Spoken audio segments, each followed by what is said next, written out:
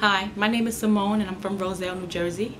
I just wanted to make this video to say thank you to William Oliver for his fast ringworm cure ebook. Recently, my daughter April came down with the ringworm rash on her face that she got from our cat. My doctor recommended the fast ringworm cure ebook and I used the home remedies in it on my daughter's face. Immediately, there was a big improvement and my daughter's rash started to fade. And today she has no marks or scars left on her skin. I just can't say enough great things about this ebook, so make sure you check it out. Thanks for listening.